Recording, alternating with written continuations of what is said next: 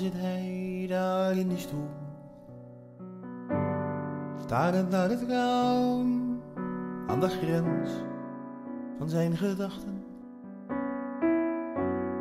Zoekend naar zijn eigen naam en dwaalt daar steeds verder in de gaten van de tijd.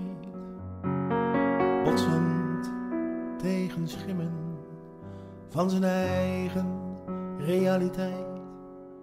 Hij kijkt je aan, hij ziet je niet. Voor zijn naasten doof en blind.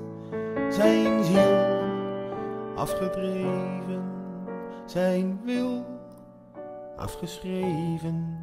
Zijn waardigheid vervlogen in de wind.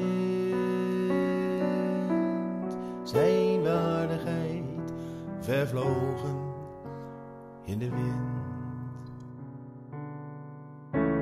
Soms dan klinkt haar stem, die hij zo eindeloos beminde. Zo dichtbij in dat moment en toch te ver om te kunnen vinden.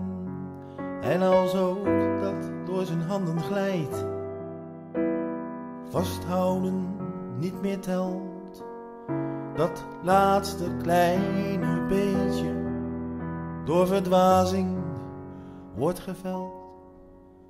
En alles wat zo gegrift stond, steeds meer vervangen door een aanhoudende ruis in een geluidloos gehoor.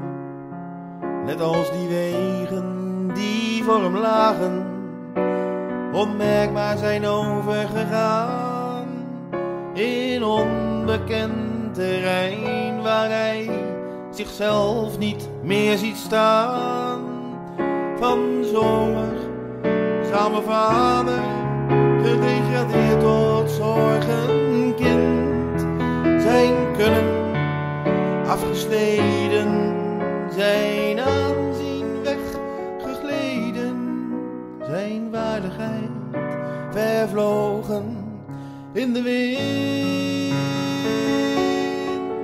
Zijn waardigheid vervlogen.